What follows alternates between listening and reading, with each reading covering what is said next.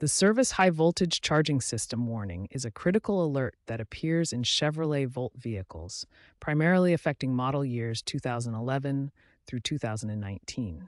This warning indicates a malfunction within the vehicle's high voltage charging system, which is responsible for converting AC power from your wall outlet into DC power to charge the battery pack. The most common cause of this warning is a failing onboard charger module, which accounts for 40 to 60% of all cases. This critical component converts alternating current from your home's electrical system into direct current for the battery. High voltage battery pack degradation is another major cause, particularly in vehicles with over 80,000 miles. As the battery ages, its ability to accept and hold a charge diminishes, triggering system warnings. Charging port assembly issues, including damaged pins and moisture intrusion, represent another common failure point.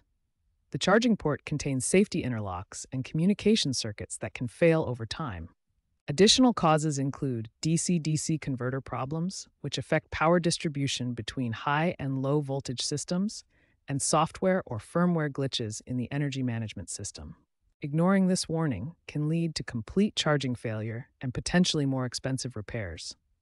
What starts as a minor issue can cascade into major system damage if left unaddressed. Recent diagnostic improvements include technical service bulletins TSB 21 NA 108 and TSB 22 NA 045, which provide updated diagnostic and repair procedures. These bulletins help technicians more accurately identify and resolve charging system issues. Importantly, in approximately 15% of cases, the warning appears despite the charging system functioning normally. These false alarms are typically caused by outdated energy management system firmware and can be resolved with a simple software update.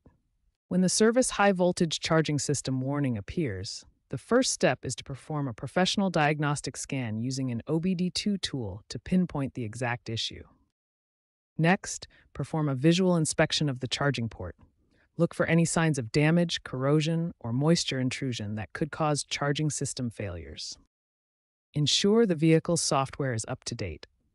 Approximately 15% of reported cases are actually software related false alarms that can be resolved with firmware updates. The most common issue is onboard charger failure, costing $1,500 to $2,500 to replace. Charging port issues typically cost $800 to $1,200, including improved sealing. To prevent these issues, follow regular maintenance schedules, use proper charging equipment, keep the charging port clean and dry, and avoid charging in extreme temperatures.